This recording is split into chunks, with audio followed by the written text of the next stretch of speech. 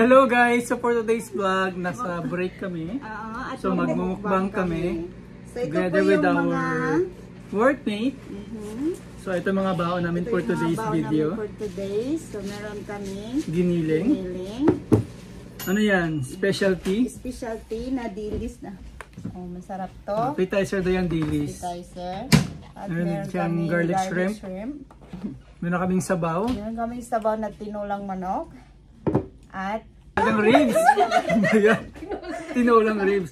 So ayan guys, nasa break so- lang kami ha.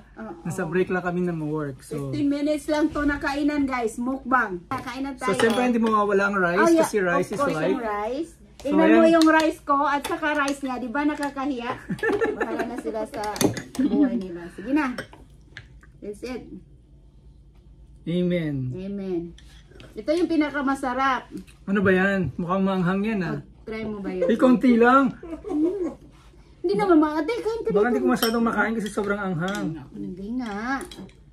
Sis. Oh, ito na day. Masarap siya pero medyo maanghang. Masarap nga yung maanghang. Hindi ako mahilig sa maanghang.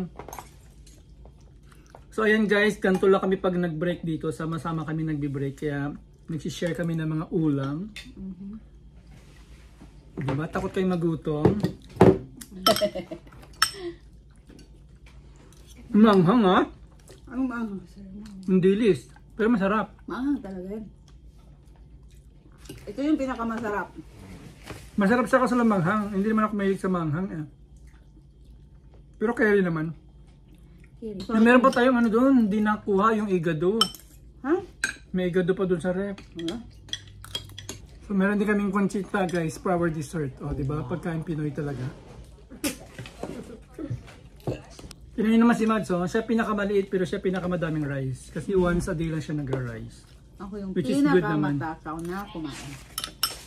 Ate!